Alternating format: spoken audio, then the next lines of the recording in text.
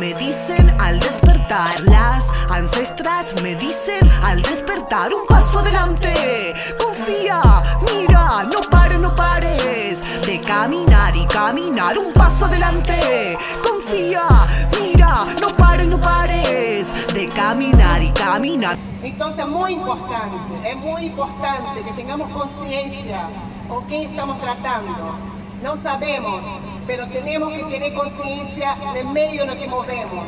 En el medio también que nos movemos también. Y ahí hablo de la parte virtual, ¿no? que está la cuestión de Tinder. Darse cuenta, la violencia no es solo de hombres, también hay violencia de herbicida tengamos eh, confianza, tengamos en mente, transvestida.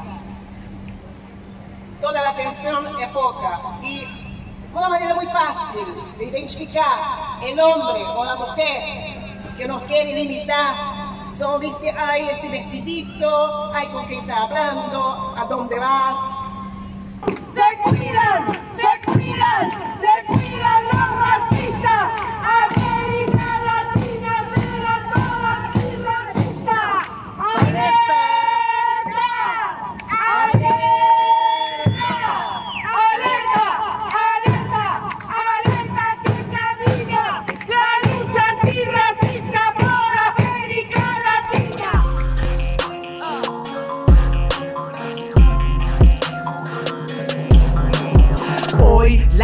Se levanta en la voz de una mujer, palabras y senderos en la búsqueda del ser. Del Estado infanticida paraguayo nos recuerda el 60% del territorio está en manos de los extranjeros.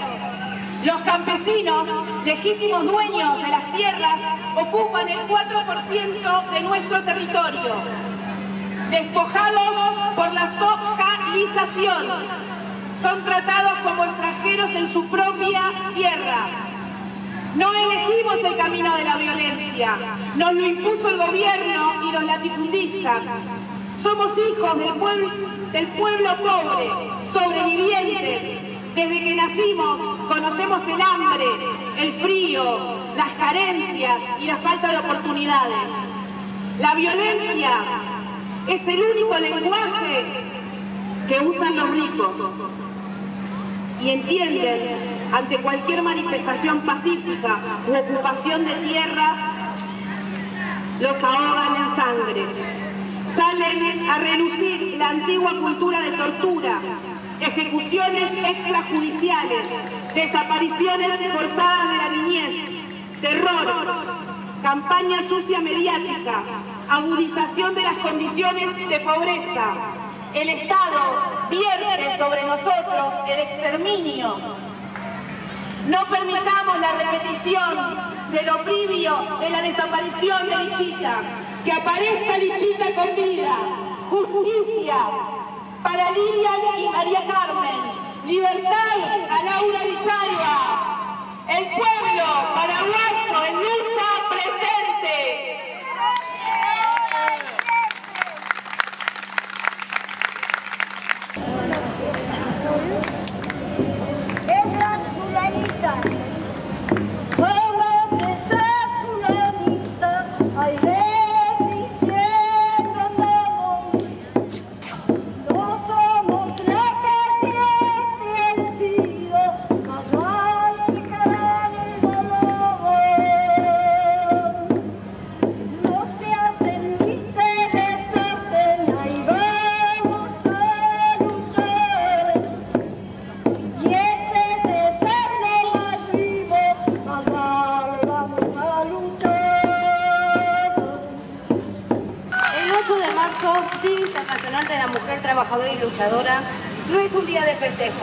un día de conmemoración. No estamos celebrando el hecho de ser mujeres. No queremos felicitar a las mujeres por ser lindas, sumisas, aguantadoras, luchonas, buenas hijas, buenas madres, esposas o novios. El Día Internacional de la Mujer se conmemora para recordar a las 140 mujeres trabajadoras que perdieron la vida en el incendio de una fábrica en Nueva York hecho que colocó en la agenda internacional los derechos de las mujeres trabajadoras. Estas compañeras Es una fecha para, para evaluar la condición y la posición de las mujeres en cada país, en cada estado, en cada municipio y en cada rincón de la tierra, para exigir que nos escuchen, para exigir igualdad, trabajo digno y de calidad. Por todo esto y mucho más, nosotras, las mujeres trabajadoras, este 8 de marzo, no queremos felicitaciones que invisibilizan las desigualdades que vivimos millones de mujeres y de las que el gobierno no quiere hablar, ni informar, ni rendir cuenta. No queremos ser cómplices de este gobierno marchista y patriarcal.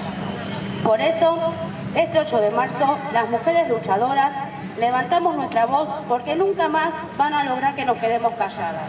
Porque es mentira que calladitas nos vemos más lindas. Nosotras somos hermosas cuando luchamos, cuando peleamos por lo nuestro. Gritemos por todas esas compañeras que salieron y no volvieron. Por aquellas que abrazaron a sus madres sin saber que iba a ser el último abrazo. Por todas las que fueron violadas y o asesinadas. Por ellas, por nuestras abuelas, por nuestras madres, por nuestras hijas, por nosotras y por todas, hoy alcemos nuestras voces y hagamos sentir mujeres que el Congreso hoy va a temblar a nuestro paso.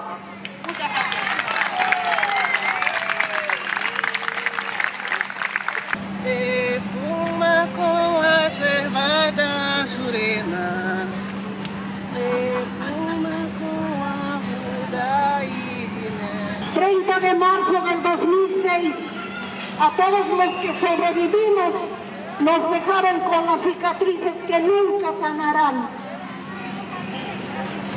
Allí murieron trabajadoras textiles junto a sus hijos, cosiendo la ropa. Y no olviden, la ropa que usamos está manchada con la sangre de las trabajadoras textiles. Luchando por justicia. En el 2016 solamente fueron condenados los capataces que hoy en día gozan arresto domiciliario. A los dueños, a los patrones, Heiler y Fischler, la justicia los dejó libres de culpa por falta de pruebas. No les bastó las seis muertes como prueba. Yo me pregunto, para que haya verdadera justicia, ¿cuántas muertes más quieren? ¿Cuántos niños asesinados? ¿Quién las oprime? ¿O quién las oprime? El marido. De una, dos, vaya uno. Una la repetimos, dale, ahí. ¡El marido!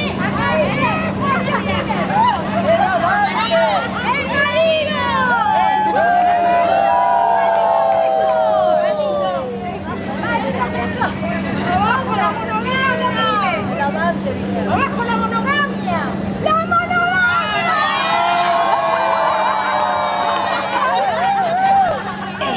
Hoy vengo con mis atuendos, con mi vestuario, con mi vestimenta, originaria, indígena, india, negra, rompiendo toda estructura, rompiendo contra el racismo. Ellas mis hermanas, Juana Zurduy, Bartolina Sisa, lucharon por la idea de libertad, por romper esa escalera de sentimiento en esa época. Es por eso que decimos, ¡Hayaya!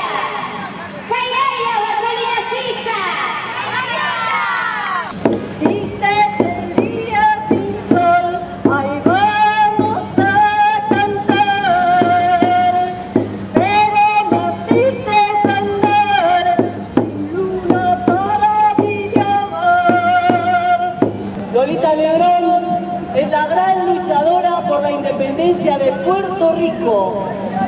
Imagínense que se fue en 1954 al Congreso de Estados Unidos dirigiendo un grupo, sacó una pistola y dijo, ¡Viva Puerto Rico libre!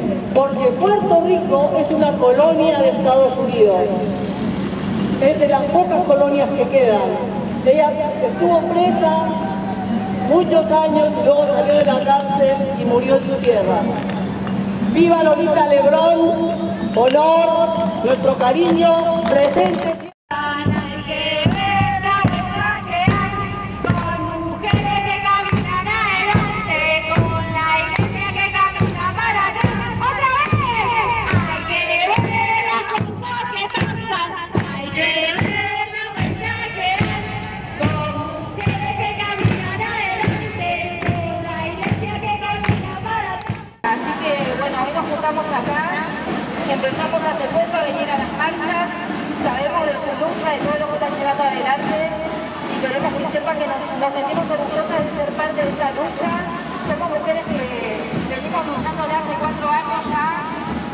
Que que participar en marchas, ir a los juzgados, eh, luchar contra el sistema burocrático, patriarcal, que siempre nos acosó, que siempre nos, nos este, así que desde ahora en adelante vamos a seguir compartiendo toda esta lucha con ustedes, estamos aprendiendo y sabemos que nos queda un largo camino por delante, pero que todo es posible cuando se lucha y cuando se tiene fuerza y convicción sobre todo para seguir adelante. Así que les agradezco y muchas gracias por dejarme compartir acá estas palabras. Gracias de corazón.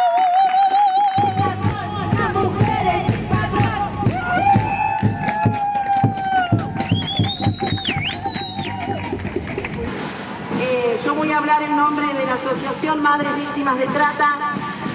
Nuestras madres hoy no están presentes porque las estamos cuidando. Margarita Meira tiene 72 años y es nuestra presidente. Hoy es un día muy importante para nosotros. Es el 8M, pero es nuestros 8 millones. Gracias a una movida increíble, increíble, que nos emociona desde lo más profundo hemos podido conseguir y lograr comprar la sede de Madres Víctimas de Trata, que hace más de 35 años que funciona en el pasaje Ciudadela 1249. En ese pasaje se le da 600 viandas todos los días a la gente que lo necesita, a la gente que está en Constitución. Allí viene cualquier persona que esté en situación de calle, de necesidad y en situación de prostitución.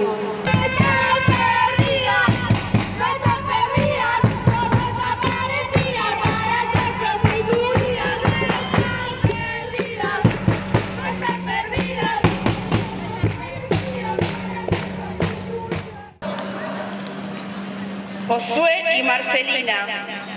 Josué y Marcelina. Josué y Marcelina.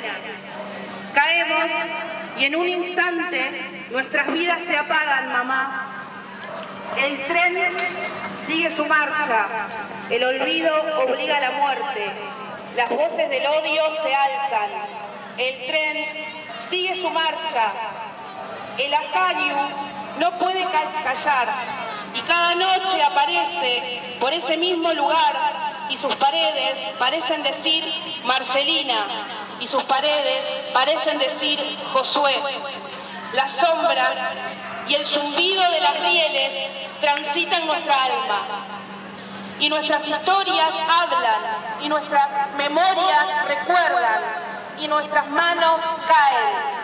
En el tibio abrazo de quienes cada 10 de enero pronuncian nuestros nombres, sueñan nuestros sueños, añoran nuestra vida, exclaman por justicia.